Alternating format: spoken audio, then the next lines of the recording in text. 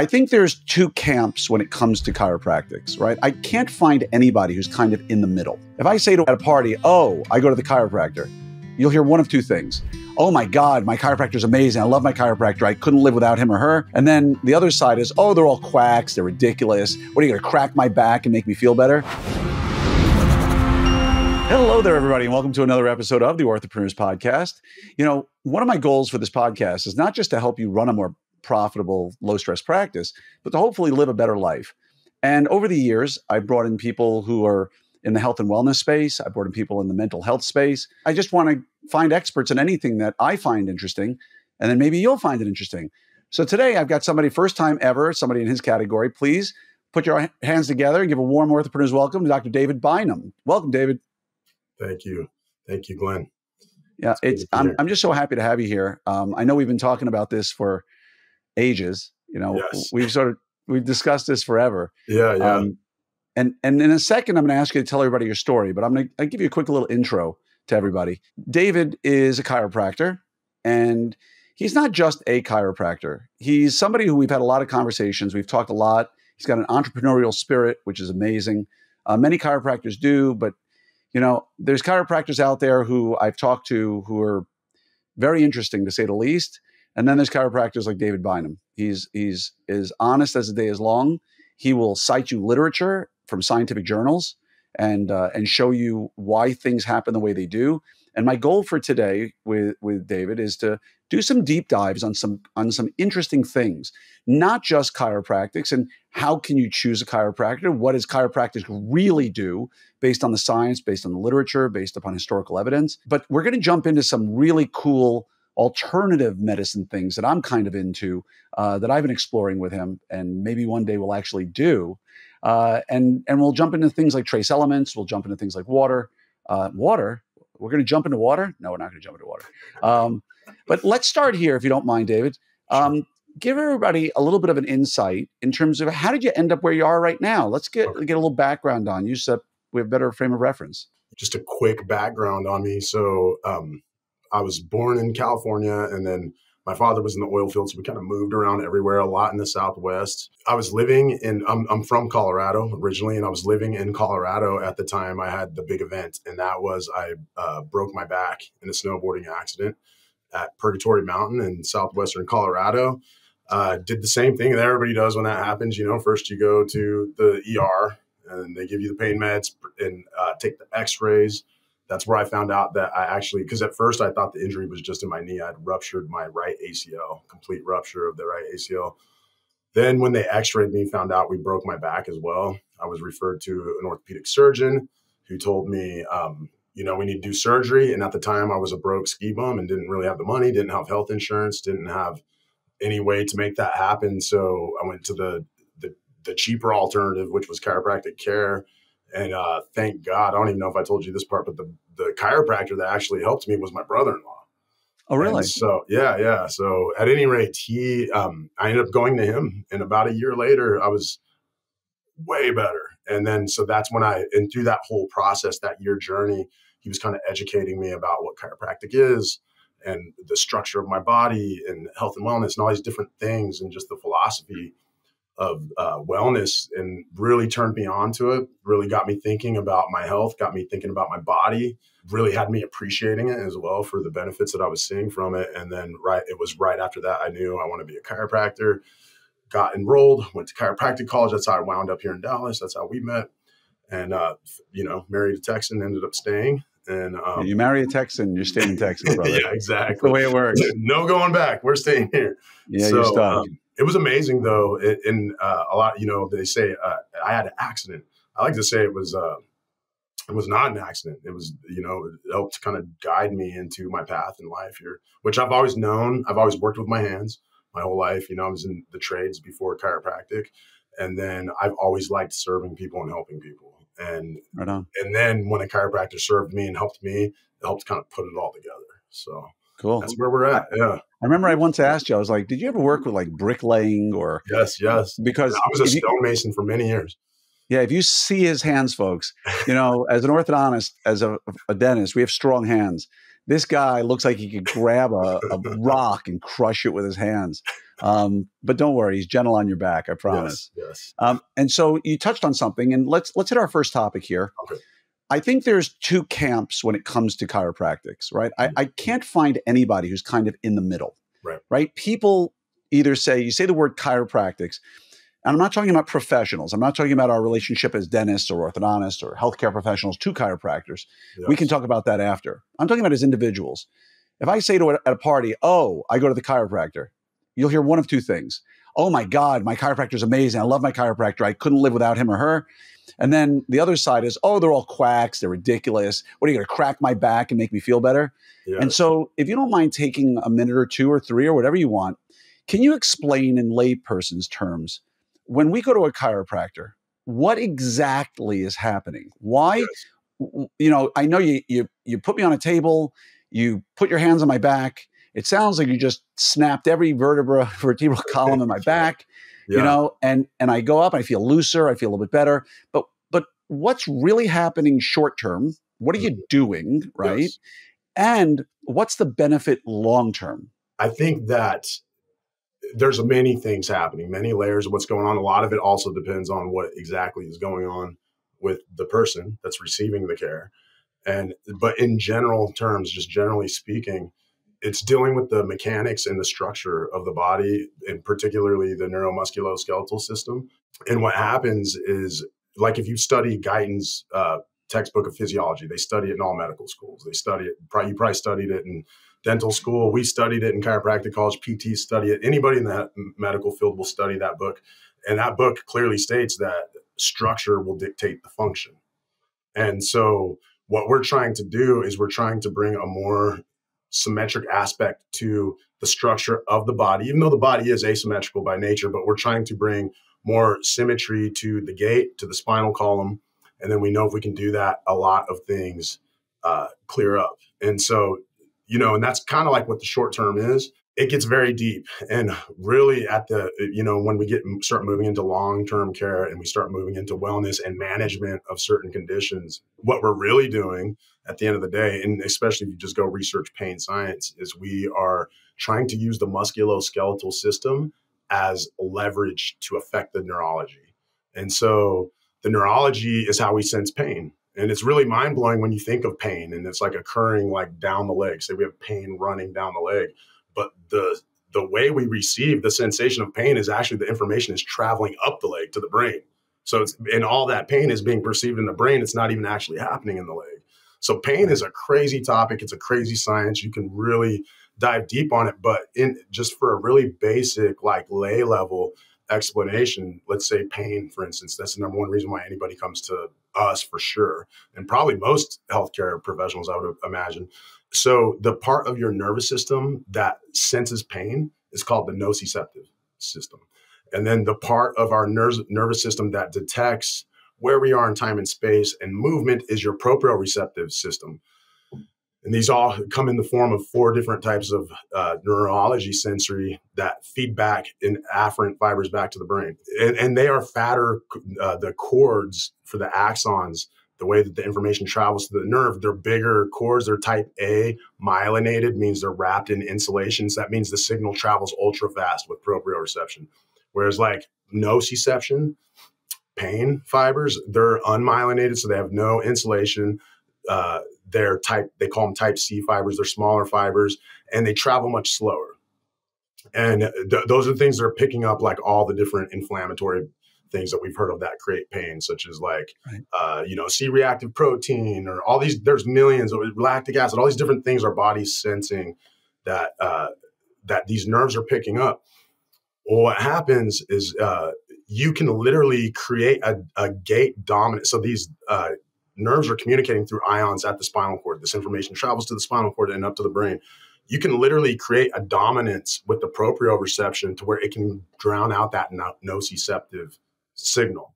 The kind of like in, uh, in, or, in orthodontics and dentistry we used to refer to that as the gate control theory of pain. Yes, uh, right? Where a fat guy and a skinny guy are going through the door. If the fat guy goes into the door he Yep. blocks it and you can and that's why acupressure uh, you know touching something when you're putting a needle into a patient when you're getting them numb uh, it's not just distraction. You're actually blocking the the nociceptor, right? And you're allowing without, the proprioception to come through, right? Without a doubt. That's why when you bump yourself, you rub it. You hit your thumb right. with a hammer, you shake it off because that movement is literally draw, uh, doling it out as Malzahn and Walls, Halls, I believe. Can't remember, but there was two guys that created the gate theory. So that was actually, and what they were doing when they figured this out is they were uh, I, think, I believe it. I can't remember what war it was. I want to say like World War II or something. And they literally were able to do surgery on people through electrically stimulating the spinal cord without any anesthesia because they ran out wow. of anesthetic medicine. This how it was all kind of discovered. Then they started researching, and it turns out it's a real. I mean, it's still a theory, but it's very repeatable, and there's a lot of literature and information to back it all up. The gating. So, how, so how does chiropractic care? I get the idea of, of uh, touch and pain, yes. right? But how does chiropractic care um, help somebody? Is it generally a pinched nerve or a nerve that's being pressed upon? So you're realigning the spine, you're putting the disc in the vertebral columns yes. in the right spot. Is that how it's really working? Yeah, it's like, and I love the word pinched nerve all through chiropractic school, we were taught don't ever say pinch nerve. And then as soon as I get into practice, I get all these referrals from MDs and they put pinch nerve. I'm like, wait a minute. but, mm-hmm. but, what happens is the it's the inflammation they say that pinches the nerve. But I know I've seen it on MRIs that discs can pinch nerves. I've seen on MRIs that ligaments can pinch nerves. I've seen on MRIs that muscles, uh, tendons, all sorts of things can pinch a nerve. But even bone itself can pinch a nerve. But most commonly, when you feel the pain it's the sharp crick in your neck. A lot of times that's uh, probably inflammatory of some sort, but that could be a disc injury. Like if you have an annular tear, a tear on the outside of the disc, that can create lots of pain, you know, and, and a lot of inflammation will start coming to that area to try to heal it, break it down, heal it up. And that's a lot of what you'll feel right there is pain. And, and a lot of just, times, a lot of times what someone thinks is pain in their spinal column is actually a muscle compensating for the Without injury, right? So your muscles That's actually huge. in spasm. Yes. You don't realize it. It manifests itself as back pain. Yes. And by doing chiropractic care and realigning things, you get the muscle to shut down a bit, correct? Yes. Uh, it, it, it, kind of like that, yeah, a little bit. It's kind it's of like weird. that means I was way off. no, no, actually, it's pretty close, but it it gets very deep too. And I and I honestly think that most chiropractors don't even understand this science, but they just know, oh, I get the results. And so they know that if I do this, the pain goes away. But what it really boils down to um, an alignment of the upper neck and just how, not, not even the upper neck, just the skull on spine relationship. And so, and, and what, because it's like, why did my right knee wear out and not my left knee? Why does the right side of my back hurt? If, if it's non uh, trauma related, let's say, right. you know, why does this hurt over here? Why doesn't it, shouldn't it hurt both sides? Right. Like if we're using them both equally. And what happens is it's uh, you have this thing called your righting reflex. And, and even taking it back before that, your vestibular system, it's the first of all your senses to really develop your sense of where you're at, you know? And so in with the vestibular system will always try, it works with the eyes, it works with all input coming into the body through like your afferents, like we were talking about those proprioceptions and everything else. And, and then, and so and it's always trying to keep your eyes and your occlusal plane, plane, what you guys would probably call it, lined up with the horizon. And, and that's not just a sense of looking out the horizon, it's a sense of its 360 degree range so that anytime we come off of our center through our vestibular system, it can come right back. And through our inner ear, through our eyes. It's crazy. The Postural Restor- Restoration Institute says 80% of all input into the brain comes from the eyes. Well, what happens is the nervous system does function throughout the body asymmetrically. You know, that's how we can ambulate. That's how we can just do all the things we do. And uh, it can happen in birth. It can happen in trauma, like a whiplash injury or falling off a horse, something like that. Or it can just happen, you know, like postural distortion is kind of like what we're talking about here. So, whenever you get a pain, some random person says, "Why do I keep getting a crick in my neck?" Say they get keep getting a crick on the right side of their neck, and one, two, one, two, three times a year they throw it out, and it never they can't ever fix it. They can't ever figure it out. Well, this is what happens whenever you get misaligned in the upper cervical. Just like we're talking about proprioception, just like the brain talks to the body, body talks to the brain, and the brain, the body is literally telling the brain after a while, this is where we're at, and so the job of the eyes is to take the information in and then it can create the muscles to react to the environment how it should. So if you have a slight tone, for instance, in your the front of your neck and your SCM, and this could happen from birth. This can happen. Most babies will you'll see more slight tone on this side just because the right side of the brain it develops right to left, right? Well, what happens is if as you have more tone on the right side of your brain, this can happen from an imbalance of the brain, even. This can happen from stress, stress in the environment. All kinds of things can create that tone to to offset. And say it happens more on the right side, most people are gonna uh, what they'll call it right torsion. Carrick Institute calls it like a right right ocular tilt. Um, me and in my techniques and what I practice, I just call it a head tilt, you know. But basically, it, but it's more than that. And what happens is as that gets off plane, because the vestibular system will always drive the eyes to the horizon so that we can orient ourselves in time and space and get lined up in that plumb line of perfect posture what what happens is the the otoliths in the ear and the information in the eyes because if you're laying sideways you can't get a clear vision so you got to straighten your head up so that that double vision goes away so that the eyes can both superimpose the image they're seeing in the brain on top of each other perfectly and and it, it, it, as this head tilt is going this way, my eyes will get driven to the horizon through the vestibular line or through the vestibular sense. And so as it does that, it's going to have to tension and tone things. And you can't see, but like for instance, the average person that has a head tilt to the right, they're going to have issues in their left hip problem. That a lot of times they'll get left because as I tilt my head to the right, my shoulders now got to drive the eyes to the horizon. And if you look at my, you can't really see, but my right hip is dropping back so that I can load everything on the other side. And then they develop those problems. Interesting. So it, it all starts with the eyes because when we take photos of patients and we want them to look like natural posture, we have them look in a mirror, right? right. So they look at themselves and then they level out, like you said. Yes. Um, but for those who aren't watching, who are just listening, basically, he tilted his head to the right, and then in order in order to get level, if his neck is contracted on one side, his whole body has to shift now to get the eyes right. Now the right hip is sticking back and out, right. and now you have a gait issue. And so I guess it messes with everything because, um, like, and like you were saying, it all comes from the eyes, right? So mm-hmm. as that head levels out, the way it has to level that out is it. So you have your in posture, for instance, you have two different types of muscles. You have your tonic muscles and your phasic muscles. Are you familiar with these at all? In posture, you have your tonic muscles and your phasic muscles. In your tonic muscles, those are your uh, postural muscles. That's what can keep my ear hole over my AC, over my lesser or over my greater trochanter or my hip, and then right over the knee, right over the ankle, and now I'm effortlessly slicing through gravity like a knife. Right, your tonic muscles are firing constantly all day because if you can imagine, just keeping your posture upright, it's it's a constant thing.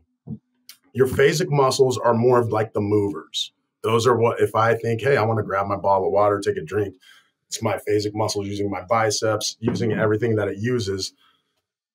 Your your your phasic muscles are typically it's the, what they'll call it neurology is like an upper motor neuron because it's coming from the cortex goes down to the alpha motor neuron or the spinal cord and then that is that's your now your lower motor neuron and that's what tells the muscles what to do so you're are, you're you have two parts of your nervous system autonomics and your so you have your volitional, but your autonomic and your volitional is just like I can move, I can think about it, I can pick up my cup of coffee.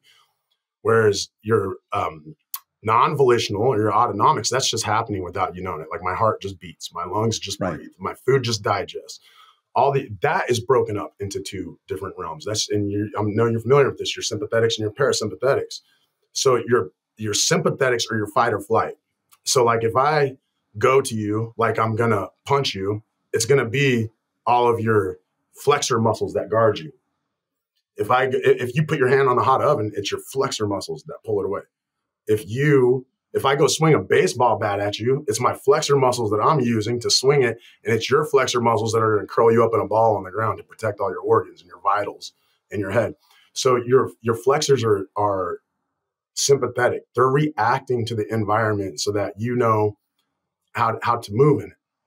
And so when someone's sympathetic, what happens is they have more tone in their flexor muscles. And so you, you, you see the fighting posture, they're hunched. You can see people that have like a view of the world that the world is dangerous because they have that fighting posture that they're just walking around. And people that are more confident, People that are uh, they're they move with more ease in the world. They're more upright. They have more tonic control over their muscles. That they have, as opposed to phasic. And so what happens is you get the head tilt, right? That's a phasic muscle. My SCM is what they would call the most rostral flexor coming off my body and is ran by my brainstem.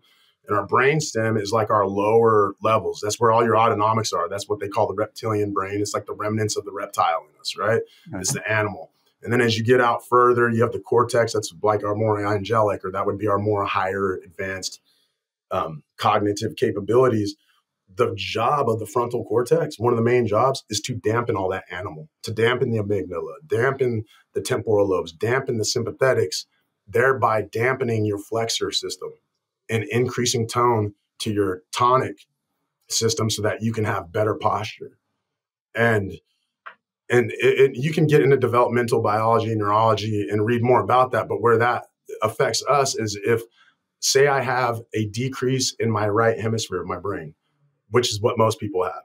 That's what they see in ADHD. That's what they see in all these uh, different type of um, learning, especially type of abilities, is a decrease in the right frontal cortex. So if my right frontal cortex decreases, all of my brainstem stuff, which is the same side, like my SCM, is going to increase in tone. And there's a great book called Muscles Alive. I highly recommend you guys to read it. This guy went through with 32 EMG channel hookups, hooked it up to everybody's body, and just studied all kinds of stuff about posture, movement, pathophysiology of pain. Very interesting stuff. But at any rate, um, in this book, he he talks a lot about this. So if I increase the tone right there, we know that all my movers are cross. So like my right, you know, they say the right brain controls the left side. That's only true for my major movers. All the postural tonic stuff, it goes down the same side. So that's 90% of your brain power is going down the same side. But that's just to stabilize me so that if I raise my right arm, I don't fall over. So I know right. the teacher says, raise your, your left arm. I raise my left arm. All my extensors and stabilizers are firing off on the other side to keep me from falling, to keep us balanced. That's how we can walk. That's how we can do all these different things. So if I have this head tilt, what my body has to do to get me level to the horizon is it has to engage my flexors, it has to engage my other psoas, it has to engage my other pec minor, it has to engage all these different things. And then, so what you'll typically see with the right head tilt is you'll see the left rolled in shoulder. You'll see the left foot flare because now the, the hypertonic psoas. When you get this skull on spine misalignment off, it sets you up for every nerve entrapment in the book, all the way from thoracic outlet syndrome to upper T4 syndrome to pronator teres syndrome to carpal tunnel syndrome to snapping hip syndrome to creating shear on your ACL, PCL, MCL to uh, even affecting bunions in your feet. And one of the things I like to tell people, because if this SCM is going off, it's my head's going to come forward, right? If right. the average head weighs 10 pounds, I always tell people just stand up straight and try to lean forward as much as you can and just feel the amount of tension on the bottom of your feet. Now, granted, it's not going to be forward like six inches like I'm doing it, but if you have a half inch forward head tilt, and if the average head weighs 10 pounds, you could potentially be adding 50 pounds of traction to the whole spine. Imagine what that's doing to my plantar fascia. You don't think that's going to make a bone spur after 20 years of walking around like that start to appear totally. on my calcaneus? And by, you know? and by the way, I love your explanations, but you and I could do this. We go down this rabbit hole and lose every person on this podcast if we haven't lost know, them. I know. And so I'm I'm stopping you there because we could carry this conversation on for days. Yes. And there's so many cool things I want to talk about with you. And so um, thank you for that. Yes. The question the question I have for you is let's start with I don't know, let's start with water. Okay. Simple, basic, mm-hmm. not too long, quick and easy. But yes. I saw you drinking water, right? Yes. And you picked up your bottle of water that you have. You want to pick it up, you can. If someone see it, yep. and, I, and, you're like, man, this is really good water. I'm like, well, what makes a water really good? So, yes. in the in the layperson's terms, really easily, explain what you explained to me before we went on this call. Yes. So, you know, water, they say we're 70 to 90% water, depending on what organ, what part of your body you're talking about. We're mostly water. Water, they're starting to find out, carries all kinds of information in it. Have you ever heard of this book called The Emotions of Water? Uh, the, the Emotions no. of Water. This Japanese guy, Emoto, his last name was Emoto. I can't remember his first name. He was a scientist, research scientist, wrote a book. Uh, and he basically would take water. This we're getting kind of into the woo here, but it was repeatable he did the study over and over again. Different people did the study. So this is, uh, you know, it sounds woo, but there was a bit of science behind it. At any rate, what he would do is he would take water and he would take it and he would hold it next to him and then he would give it love or hate. He would give it negative emotions, like he would say jealousy, and he would focus on jealous energy, and he would try to program this water with jealousy. Then he would take another thing of water and he would try to program it with joy. And then and he did this, and he did, and many people have repeated this study, by the way. I actually have a friend who did it because there's a way you can freeze water. They actually now understand there's four phases of water, and there's a phase right before it freezes that it's in. It's like a liquid crystalline structure, and there's a machine now that they make so that you can perform this study yourself. And um, what happens is the the molecules that what we would call like the more positive emotions or whatever love, joy, happiness, all these things had perfect structure, geometrical patterns that looked beautiful, pleasing to the eye. Then when you would take the other molecules that or the other emotions, the more net what we would call the more negative molecules, distorted patterns, chaotic looking, not as pleasing to the eye. You know, the water carries tons of information. And so because of that, I believe that the best kind of water to drink is spring water uh, better than that even is artesian well water. But uh, spring water is literally when you drink water for coming from a spring, it literally took that molecule of water, it touches your lips. It took probably 10,000 years for it to recycle through the hydrologic cycle, go down in the aquifer and work its way up through the limestone, the sandstone, all these different things that it's suspending the colloids in the perfect mixture that the earth is doing for you. And by the time it reaches the surface, it has perfect amount of all the electrolytes you can need, over 99 to 102 of the trace minerals that your body needs in the perfect way that your body can absorb it. And it, like literally, they've literally ran them, ran this water through different things, and the water can the the carbon molecules they can um or the hydrogen can spin left or spin right, and they say that it spins left, which means it's more absorbable to your body it's just crazy how far they break it down. But what they do with like you, you know your typical uh, say you buy Dasani, right? You go buy Dasani. What they do with that water is they distill it, which means they remove everything natural from it. So now essentially the water's dead, and they put baking soda back in it. And that's what they, you know, sodium bicarbonate is what you'll read on the thing. But it, it, they put uh, fluorides in it. They put all kinds of different chemicals in it, most of which your body can't even absorb, or it can create some kind of an issue, anyways. I mean, you know, I knew a guy uh, just last week. I was talking to this guy, and he said, "I heard that if you alkalize your body, you can do it with uh, baking soda, right?" So he took like a teaspoon of baking soda, started doing this every day. Next thing you know, he thought he was having a heart attack. Had to go to the cardiologist, and they told him was it, and it turned out his system he made it too alkaline. His heart was going up. He pushed all his potassium out of his body. That's because it's an unnatural way to do it. And it's very potent when you do it that way. But if you take spring water that the earth is programmed, that has all the minerals that your body can 100% absorb in it, it's it's just a no brainer. You can taste it. You can taste the difference in a, in spring water compared to like uh, reverse osmosis water. And know? and that was the question I was really getting to, right? Which you answered very well, which was there are things in spring water, there's things in artesian well water that aren't there. And, and again, really quickly, because there's so many other things I want to cover with you. Yes. Um, you talked about when I asked you about your water, you picked it up and you read on the water yes, bottle something yes. about solids. What were yes. you looking at? So I'm looking for uh, total dissolved solids. You want that number to be lower, like around 200, 300 parts per million, because your body. Because if you have high dissolved solids, what's going to happen is your body, a lot of that stuff's going to gunk your body up, and it could calcify into your tissues and as opposed to into the body, into the bone, into the organs where you need it. And so it just means that it's more bioavailable to your body. Got it. Uh, and so, just one last note on the, the spring water too is it doesn't have all the chemicals that like you can't filter out, for instance, atrazine. Like if I just you could go to EWG, it's this website that or EWG, yes, that it's this website that you can t- type in your zip code and it will tell you what's in your drinking water. All these municipalities have to report it. I Googled mine. I'm in North Dallas. We have plain old water. My, we had atrazine in our water, which is an herbicide. But atrazine, for instance, they take frogs, they put male frogs in atrazine, and the male frogs turn into females. And they wow. can actually have babies even after that. They can actually conceive after this. But uh, they had chloroform in our drinking water. They had uh, birth control in our drinking water. I mean, these are things that if your human kidney can't filter out, what what do you think? How do you think the uh, waste system, you know, the uh, water system is going to be able to treat that? You know, not to mention they're treating it with chemicals that, yes, it does kill the bacteria, and we need that, but you know, your body's absorbing this when you're taking a bath. Your body's absorbing it when you're brushing your teeth. Your body's absorbing it when you're cooking your food in it, and all that does add up to stress on the body long term overall. You know, that's amazing. Now I want to hit two more things with you because okay. um, they're going to blow people's minds. The first is Kambo. Yes. And the second is ayahuasca. Okay. Right. And so yes.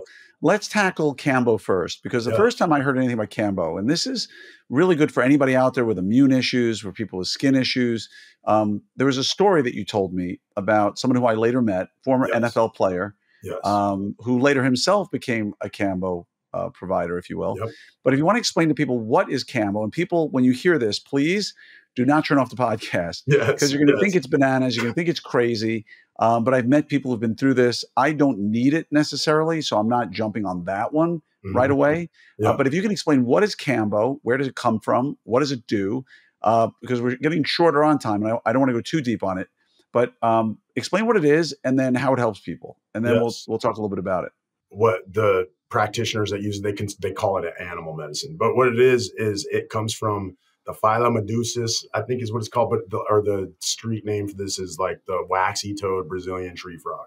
It comes from a frog. poisonous tree frog from it South comes from a tree frog. It's the a big frog that makes a big. I mean, the croak on this thing sounds crazy. It's crazier than any like uh, bullfrog you've heard or anything like that. It has a very distinct, and they and they climb in the trees in the jungle. And to watch these guys harvest it down in the jungle, the big people that really use this medicine and that have kind of bring it to us are the Matsés tribe down in Brazil, and um, they're like in Peru, place in the Amazon. And so this this frog comes from the Amazon, and it it, re, it releases these secretions. So the people that harvest this medicine, there's no harm done to the frog at all. It's all done very respectfully, and it's basically the secretion on the frog. And I and I believe that that secretion protects that frog from its predators. But they scrape the secretion off, and then they uh, will literally the way that the medicine, the way they apply it, they apply it to you is they blister your skin. It almost looks like a little incense stick that they burn like a little dot in your arm. And when I say burn, they're not even going through the third. They're not even going down to. They're barely on the surface level of your skin because the way this medicine accesses it is that it goes into your lymphatic system.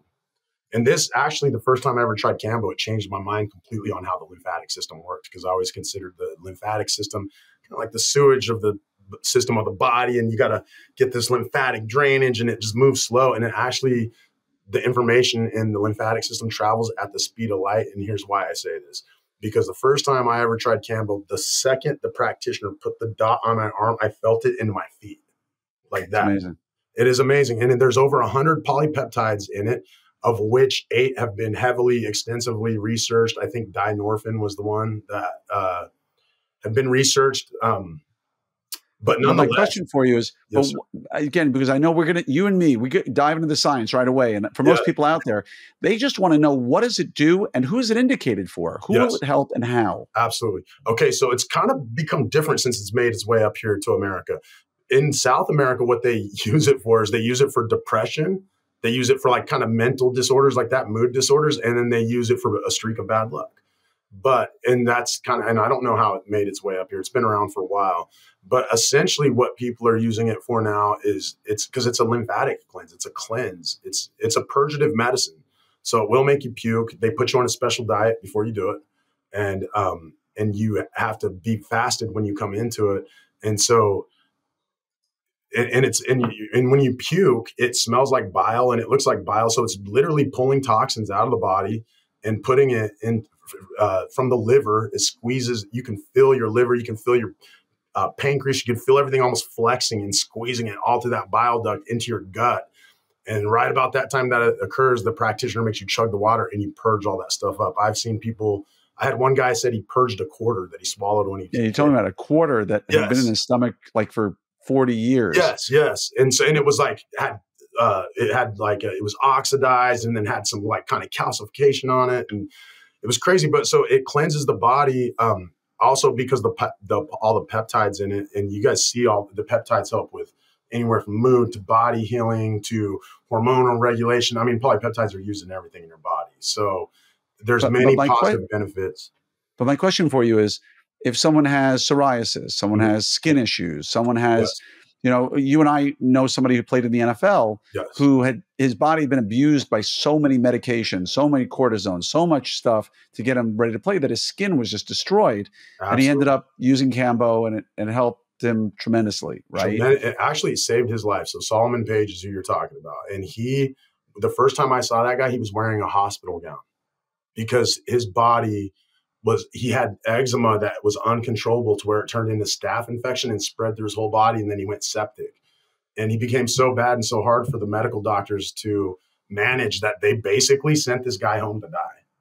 And as, and as a last result, uh, this nurse practitioner here in town that we both work with, um, her and I are into the Kambo. She told him, "Hey, you should try this as like a last ditch effort because she's thinking maybe this will turn your immune system off because he was having all these crazy autoimmune uh, responses that we later on, uh, you know, we think we tied it to all the like, I mean, tons of cortisone injections, but um, but basically what happened is the moment he took it, he said instantly, like obviously when your skin's scabbed up, that takes time to heal. But he said instantly his skin just calmed down, like he felt it calming down, you know. And uh, what I believe it does is I think that it just there's not much research behind this aspect of it, but I think what it does is um, it in chiropractic there's an adjustment you can do which will activate the sympathetics and it's adjusting the front side of the spine. It's very hard to do but when you do it people go through a sympathetic storm like their palms get sweaty their pupils get blown out they start respirating really heavy and it only happens for a short while but then they go into a heavy sympathetic mode and what i think that the kambo does is your immune system's so spiked up that it just fully spikes it up and wears it out almost kind of like the difference between cancer and a long-term infection.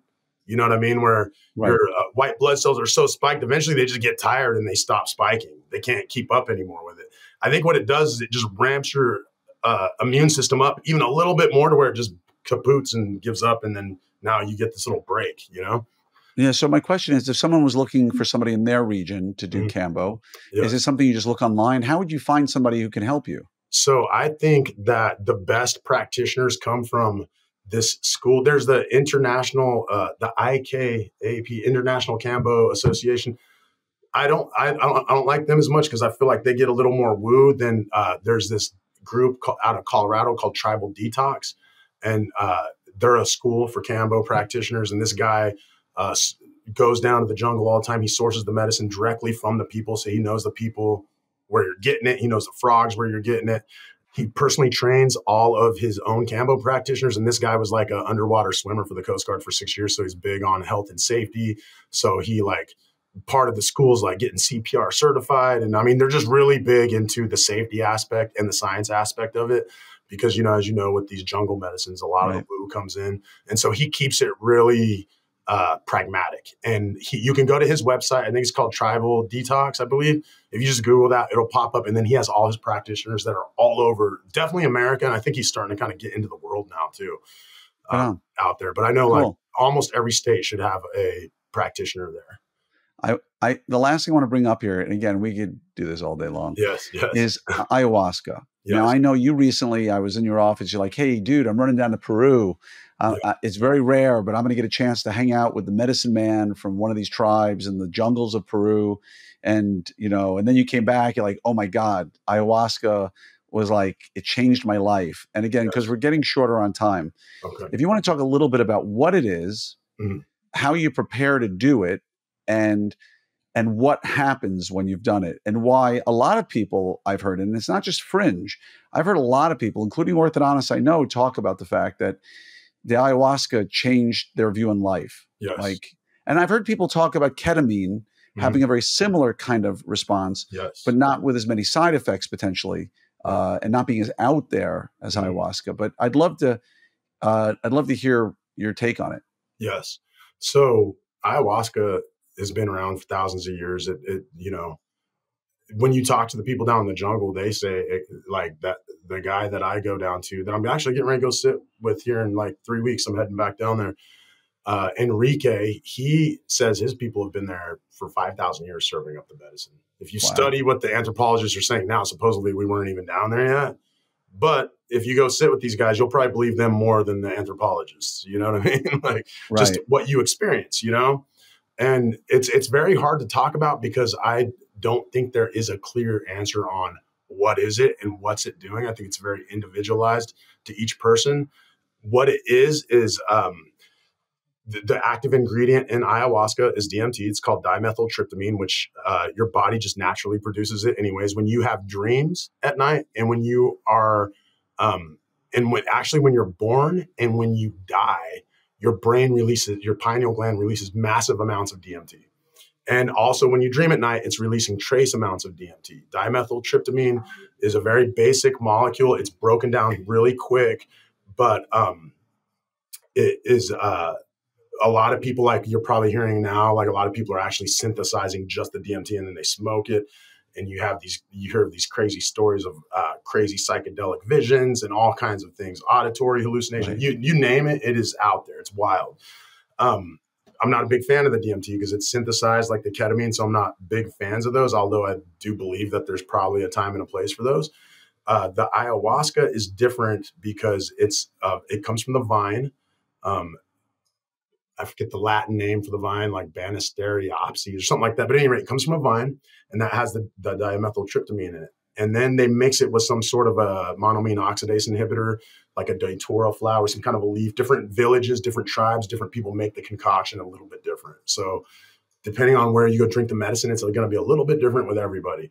And so what that, because like if you hear people smoking DMT, it lasts for like five ten minutes, whereas an ayahuasca journey can last, you know, up to six hours, and it's because the MAOI, which allows you to drink it and then it allows it to stay in your gut long enough for you to process it and actually go through the experience. And for me, for instance, uh, a, like my behavior changed instantly. I mean, the big thing I could tell you is I wouldn't call myself an alcoholic, but I was definitely a binge drinker. And so, like, I didn't drink every day. I wasn't the type of guy to go and have a glass of scotch to or a glass of wine to take the edge off. But I was definitely the guy that if I was going out with friends to drink, it was uh, it was too much, you know. And so instantaneously, all that went away.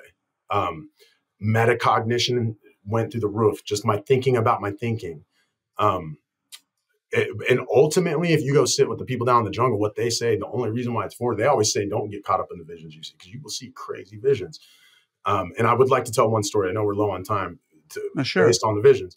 But at any rate, what they say it's for is it's to help you change your behavior. Because if you think about sickness, disease, most of the time, even trauma, all these things that happen to us that degrade, degenerate, and break down our body is all based off of our behaviors most of the time, or based off the behaviors of people while they were our caretakers.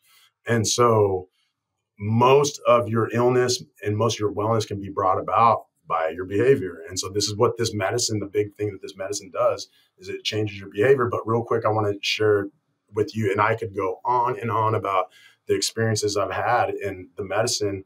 But just to give you an idea, me and my wife is the one that brought me to the plant medicines. And uh, she took me to this ceremony when we were dating. And we went to the ceremony and uh, we were sitting with a guy who was trained with the Huichol people, and uh, he was mainly like a peyote guy, but he also did uh, ayahuasca. So we went, we sat with this guy, and it was funny because the whole time I'm trying to t- convince my wife, oh, we don't need to do this. Let's not do it. And the whole time she's like, we're going to do this. And when we were in there, I had one of the most amazing experiences, and she had one of the hardest experiences. But the medicine man came over to her and sang her a song that I now know was written by a man who I got to later meet down in Peru named Artur Matura, sang this song to her called Saranita Bobansana. And as soon as he started singing the song to her, she immediately calmed down and uh, and then went into this great place.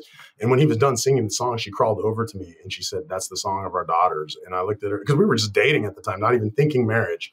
And she was obviously not in her right state of mind, but she came and told me that, and I looked at her like, "What the heck are you talking about?" So um, it was right after that we accidentally got pregnant, and, but we miscarried the baby after eight weeks and um, and so then we knew we okay. so it, she has a genetic condition called MTHFR. I don't know. Have you ever heard of that?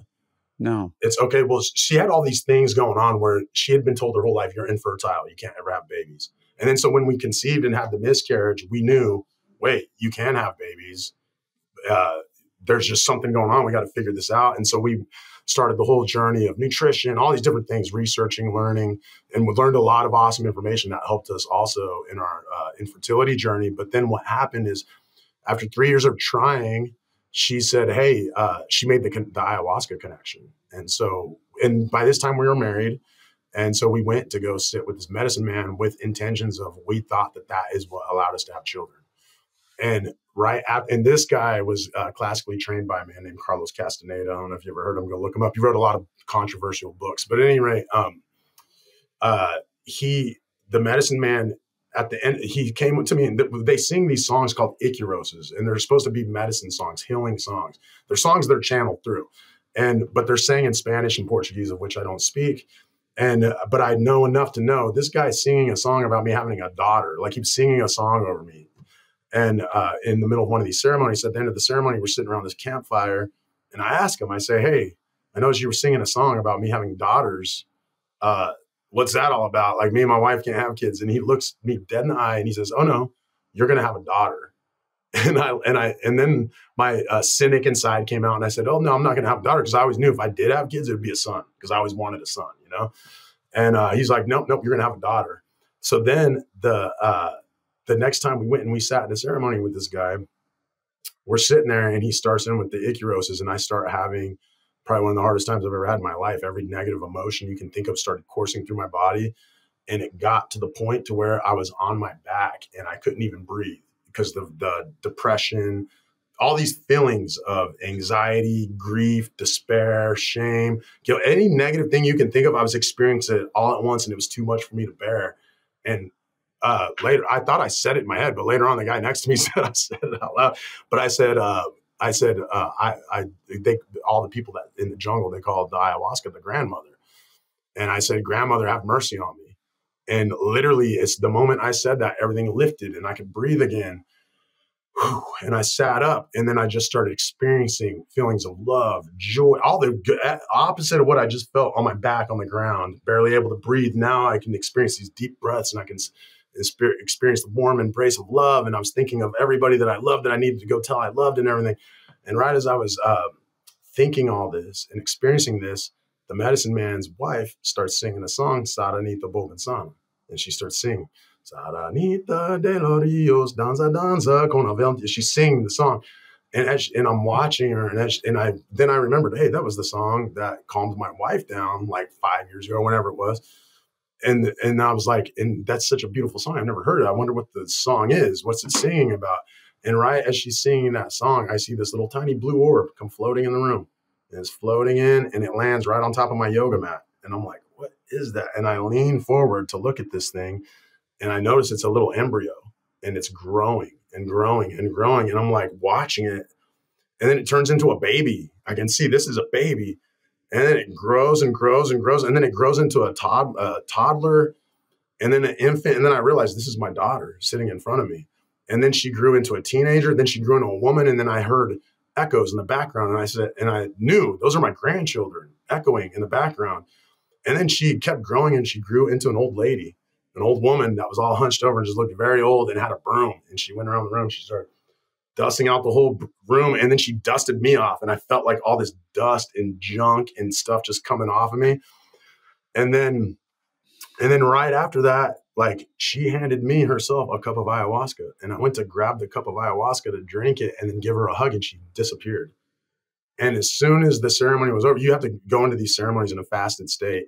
And uh, a lot of people don't let you even eat afterwards. But this guy, this particular guy, he has like a bowl of like vegetarian soup sitting there after for after ceremony. So I was the first one back there getting my bowl of soup, and all I heard was his voice in the background, and he said, "Did you see how beautiful your daughter was?"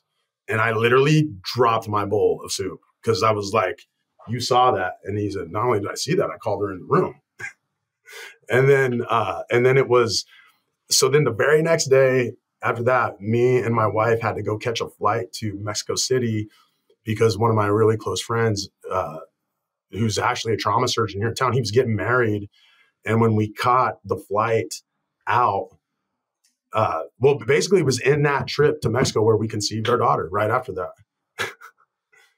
wow. So, and as a result, I, her, her, middle name, so I named her first name after my grandmother, who was an amazing woman uh, who just had this incredible life of like escaping a revolutionary country and everything, and then coming here to America. And I just always had this huge respect for my grandmother, Rubina. So I named my daughter Ruby after my grandmother, and then I named her middle name Aya after the grandmother. And so that's and that's how she came about. It's pretty amazing. But because of my eh, experiences like that that I've had with the medicine, that's just one of many. I just know for a fact that there's something beyond what you can knock on and it makes noise that you can really explain about it. And I know that they're trying to scientifically research ayahuasca now, but I really don't feel like that's going to produce much because when you go down and you work with the people down in the jungle, it's so much different how they look at it than how we look at it up here, you know? So, yeah, I mean, yeah. it's pretty amazing. And, you know, I think we probably scared the bejesus out of half the people listening who are still remaining after our long explanation yeah. of, of, the uh, proprioceptive and nociceptive systems. But, you know, we could do this for days, literally, and we do when we're in person. We talk about this a ton.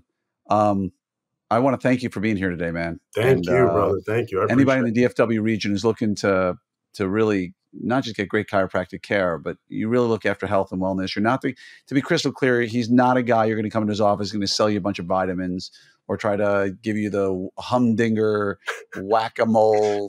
We always yeah. joke about some of the names that some yes. chiropractors give to their you know unique yes. mechanism. Come to yeah. here, and we're going to give you the humdinger. you know, and you're talking about a guy who's going to treat you appropriately, properly. Um, you're going to feel better and uh, again, he's the kind of person that if you have a question, he always loves answering them. He's happy when you reach out to him and ask questions about ayahuasca or kambo. And if anybody does want to get a hold of you, what's the best way to reach you? So the best way to reach me is um, you can go actually to my uh, social media platforms, Dr. David Bynum on Instagram. Uh, and that's B Y N U M for anybody yes, out there who's curious. That is correct. And um, and th- that's probably the best way to reach out to me right now is just hit me up on social media. Right on. No, I, I just want to say thank you so much. I need to get in, man. I'm just, I, I get this. No, I'm kidding. I do need I do to need to take care of you, though, brother. You, you, take care of a lot of people. You got a lot on your shoulders, so you definitely need it more than anyone, probably. Well, you know what? Um, I, you know, I've been on my health and wellness journey the last 12 months or so, really feeling much better, um, being much more intentional about my health. And yes. for me, there's no uh, either or eating the right way there's working out the right way there's chiropractic there's acupuncture there's massage therapy there's you know what what you're taking in trace elements. Everything comes together in a, a broad way just hoping that i don't get hit by a truck at some point but hey you have, you have so much vitality now too since i've since i first met you just right. like you know since doing the jujitsu all the stuff it's like i could and it's not like i could see oh your skin looks better. It's just your energy is better. You know what i mean? My so, chi is flowing baby. chi is flowing man. The sea of chi. my chi, chi is flowing. Um, but i want to say thank you from the bottom of my heart for being here today and uh, just looking forward to learning a lot more from you over time my friend. It's an honor. I appreciate you doc. Thank you so much for everything